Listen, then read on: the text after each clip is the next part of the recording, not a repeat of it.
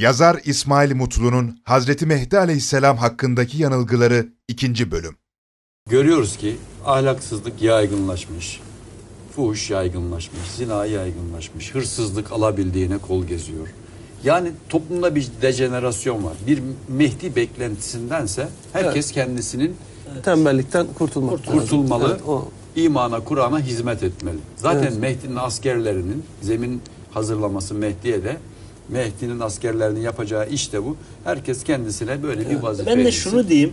Mehdi, Bir yere tutulsun. Mehdi geç kaldı. Eğer gelecek değilse şimdiye kadar ne bekliyor? Artık dünya İslam'a koşuyor. Güzel şeyler yaşanıyor. Mehdi bence geç kaldı. Ya geçti. Biz görmedik. Kıyamet kopması lazımdı. Kopmadı. Ya geç kaldı bir daha gelmesin. Peki, Herkes bir Mehdi çok olsun. teşekkür ediyorum.